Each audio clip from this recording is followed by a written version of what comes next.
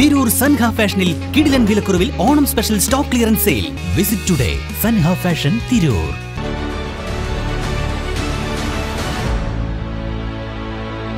നമസ്കാരം. വെട്ട news on ടൈമിലേക്ക് സ്വാഗതം. കല്യാണം. ഇനി വേറെ level Basid wedding mall Basid arcade Poongottukulam Tirur. November അഞ്ചു മുതൽ എട്ട് വരെ തീയതികളിലായി S S M H S S Theyyalingal നടക്കുന്ന താനൂർ ഉപജില്ലാ കലോത്സവത്തിന് ഇരുപത്തഞ്ചിലധികം അപ്പീലുകൾ ലഭിച്ചു.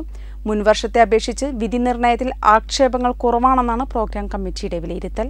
തെയ്യംപാട്ടിൽ ജ്വല്ലറിയിൽ നിന്നും വെറും രണ്ടര ശതമാനം മുതൽ പണിക്കൂലിയിൽ സ്വർണാഭരണങ്ങൾ സ്വന്തമാക്കാം. ഉടൻ തെയ്യംപാട്ടിൽ ജ്വല്ലറിയുടെ ഷോറൂം സന്ദർശിക്കൂ.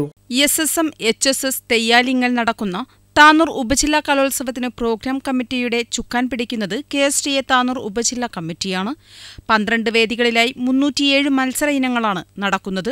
L P U P high school higher secondary വിഭാഗങ്ങളായിട്ട് മുന്നൂറ്റിയേഴ് ഇനങ്ങളിലായിട്ട് മൂവായിരത്തോളം കുട്ടികൾ അണിനിരക്കുന്ന കലാമേളാണ് ഇവിടെ കഴിഞ്ഞ നാല് ദിവസങ്ങളായിട്ട് നടന്നുകൊണ്ടിരിക്കുന്നത്. മുന്നൂറോളം അധ്യാപകർ പ്രോഗ്രാം കമ്മിറ്റിയായിട്ട് ബന്ധപ്പെട്ടുകൊണ്ട് വിവിധ സ്റ്റേജുകളിൽ നിരന്തരമായിട്ട് പ്രവർത്തനത്തിൽ ഏർപ്പെട്ടുകൊണ്ടിരിക്കുകയാണ്. സമയബന്ധിതമായിട്ട് റിസൾട്ടുകൾ നൽകാൻ ഈ മൂന്ന് ദിനങ്ങൾ കഴിഞ്ഞിട്ടുണ്ട്. ഇതുവരെ നടന്ന എല്ലാ മത്സരങ്ങളുടെയും മത്സരഫലം കൃത്യമായ രീതിയിൽ അപ്ലോഡ് ചെയ്യാനും അത് എല്ലാവർക്കും എത്തിക്കാനും നമുക്ക് കഴിഞ്ഞിട്ടുണ്ട്. ഇന്ന് വൈകുന്നേരം ആറു മണിയോടുകൂടി എല്ലാ വേദികളിലും പന്ത്രണ്ട് വേദികളിലാണ് മത്സരങ്ങൾ നടക്കുന്നത്. ഈ പന്ത്രണ്ട് വേദികളിലെയും എല്ലാ ഇനങ്ങളും പൂർത്തീകരിച്ചുകൊണ്ട് സമ്മാനം നൽകാൻ കഴിയുമെന്നാണ് നമ്മൾ പ്രതീക്ഷിക്കുന്നത്. ഏറ്റവും മികച്ച രീതിയിൽ ഈ കലാമലയുടെ പ്രോഗ്രാം കമ്മിറ്റി നമുക്ക് നടത്താൻ കഴിഞ്ഞിട്ടുണ്ട്.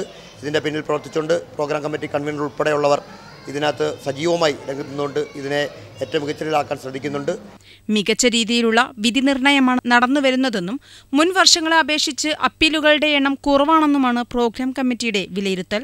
കേരള നടനം നാടോടി നൃത്തം എന്നീ മത്സരങ്ങളിലാണ് ഏറ്റവും കൂടുതൽ അപ്പീലുകൾ വന്നിട്ടുള്ളത്. വെട്ട ന്യൂസ് താനൂർ.